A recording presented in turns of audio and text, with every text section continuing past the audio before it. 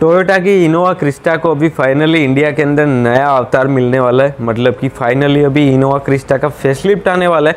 जो लोग बोर हो चुके हैं डिज़ाइन से या फिर जो लोग बोल रहे थे कि गाड़ी को अपडेट नहीं किया जा रहा टाइम टू टाइम या फिर बात करें ओल्ड डिश हो चुकी है, थोड़ा सा कैरेक्टर उसके ओल्ड हो चुके हैं तो उसके अलावा और भी उसकी कई सारी चीज़ें जिसकी वजह से गाड़ी की सेल्स तो अभी भी तगड़ी हो रही है।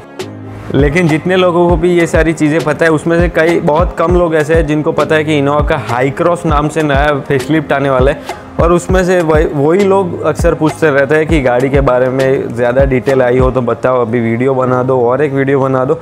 तो इस वीडियो के अंदर आपको उसके बारे में डिटेल में सब कुछ मिलने वाला है मतलब कि सब कुछ इन्फॉर्मेशन आपको डिटेल में देखने को मिलने वाली है तो वीडियो को एंड तक ज़रूर देखना। आपको गाड़ी की लॉन्च डेट प्राइसिंग वगैरह के बारे में वीडियो के एंड तक पता चल जाएगा। सबसे पहले गाड़ी के इंटीरियर से हम शुरुआत करने वाले हैं कि गाड़ी के इंटीरियर में आपको कौन सी चीज़ें देखने को मिल सकती है।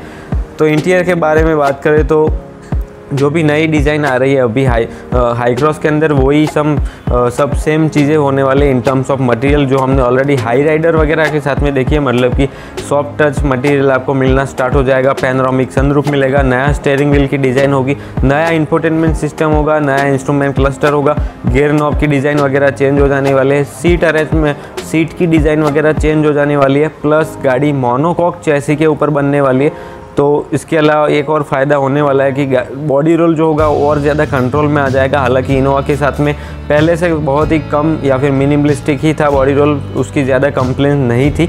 तो ये सारी चीज़ें हैं इंटीरियर के बारे में मोटा मोटी तौर पे। अब बात करते हैं एक्सटीरियर की।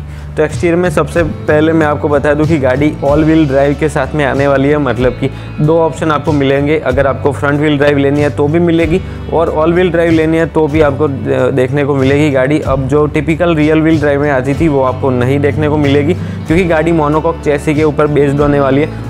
एक्सटीरियर में और बात करें तो फ्रंट आपको पूरा चेन देखने को मिलने वाला है। फ्रंट हेडलैम्प्स आपको नए मिलेंगे। फ्रंट ग्रिल आपको देखने को नहीं मिलेगी।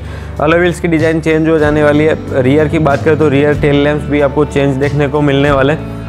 रियर बम्पर वगैरह सब कुछ आपको चेंज देखने को मिलने वाला है। इसके अलावा बात करें डायमेंशन वगैरह की तो हो सकता है वो थोड़े बहुत चेंज हो जाए क्योंकि कॉस्मेटिक चेंजेस की वजह से ही थोड़ा बहुत हल्का सा फ़र्क आ सकता है क्योंकि न्यू जनरेशन नहीं आ रही तो इस वजह से प्लेटफॉर्म तो वही सेम रहने वाला है। तो ये सारी चीज़ें हैं, क्योंकि डायमेंशंस में तो आपको ज़्यादा चेंज देखने को नहीं मिलने वाला है। उसके अलावा बात करें तो कनेक्टेड कार टेक्नोलॉजी वगैरह आपको गाड़ी के साथ में देखने को मिलने वाला है। प्लस स्ट्रॉन्ग हाइब्रिड सिस्टम भी इसके अंदर आपको देखने को मिलने वाली है, जिसके बारे में हम अभी आपको आगे चल के बताने वाले हैं कि इंजन ऑप्शंस के साथ में आपको वो सब क्या कुछ मिलने वाला है। तो ये सारी चीज़ें एक्सटीरियर के बारे में थी। एक्सटीरियर में और ज़्यादा बात करें तो गाड़ी के ओवरऑल जो स्टांस है या फिर प्रपोशन है वो और ज़्यादा मेच्योर लगने लगे अब। क्योंकि गाड़ी हमने ऑलरेडी देख ली है स्पाइड होते हुए भी देखी है और अनडिस्गाइज जो थी फुल्ली अनडिस्गाइड उसको भी देखा था। तो इस वजह से हमें अंदाज़ा तो आ ही चुका है कि गाड़ी का स्टांस जो है वो एमपीवी से अब बढ़कर एसयूवी जैसा दिखने लगा है, जो कि इनोवा क्रिस्टा हमेशा से एमपीवी जैसी ही दिखती थी। हालाँकि बहुत अच्छी डिज़ाइन के साथ में आ रही है। अभी भी अच्छी है डिज़ाइन लेकिन कब इसको टोयोटा लॉन्च करती है, वो भी अभी देखने वाली बात होगी। वीडियो को एंड तक देखना, आपको वो भी लॉन्च डेट वगैरह भी पता चल जाने वाला है। अब बात करते हैं इंजन और गेयरबॉक्स ऑप्शंस के बारे में। तो आपको स्ट्रॉन्ग हाइब्रिड डीजल के आने के चांसेस भी है और ये भी चांसेस है कि डीजल आपको ना मिले। सिर्फ़ पेट्रोल के साथ में आ जाए स्ट्रॉन्ग हाइब्रिड तो ये दो चीज़ें हैं। आप हमें कमेंट करके बताना कि क्या आपको ऐसा है कि अगर डीजल बंद हो गया तो आपको इनोवा पसंद नहीं आएगी उसके बाद में या फिर आप कंसिडर नहीं करोगे। क्योंकि बहुत सारे लोग ऐसे हैं, क्योंकि ये गाड़ी ऑलरेडी डीजल के साथ में ही बिकती है। तो इस वजह से ये बड़ा कंसर्न रहने वाला है। तो देखने वाली बात होगी कि टोयोटा डीजल इंजन को डिसकंटिन्यू करता है या फिर स्ट्रॉन्ग हाइब्रिड के साथ में डीजल को लेके आता है। तो ये सारी चीज़ें देखने वाली है। जब भी गाड़ी लॉन्च होगी, तब ये सारी चीज़ें रिवील हो जाएगी।